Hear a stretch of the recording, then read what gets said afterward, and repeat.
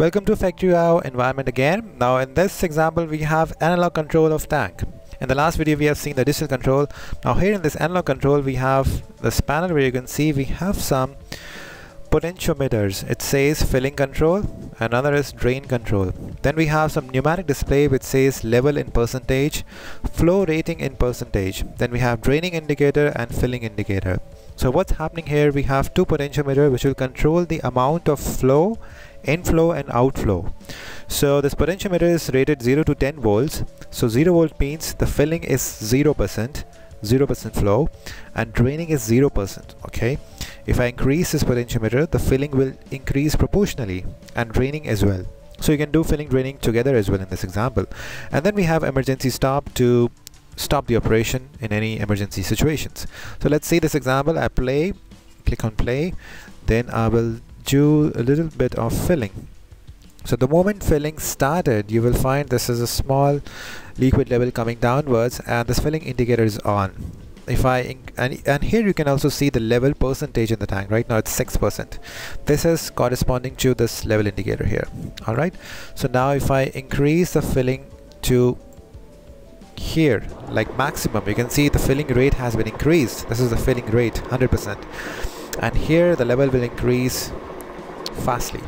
Now I can reduce this back to let's say 14% so this is 14% filling rate. Now I can also do the draining here. Now draining is 49% the draining rate of uh, proportional draining is more than filling. So you can see that water is going down. So I can also increase the filling here and I can also balance this filling and draining operation. Generally draining is the load in your liquid level control. It shows how much you are utilizing the liquid. And if the liquid level goes beyond some level you can start the filling. You can make a logic in that way as well such that you need some critical level of liquid in your tank. If your liquid level goes below the critical level you can start the filling and stop the draining likewise you can do that okay? And these indicators indicates which valve is on draining and filling okay? So if I turn off the draining this indicator goes off it means draining valve is off now it's only filling the operation. If I turn off that as well it's it's it's none of the valve is on so the liquid level will stay there.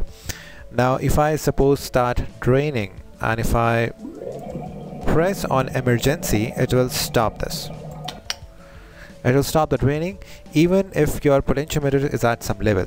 And the liquid level will show you 60% if I release this emergency it will resume the draining operation.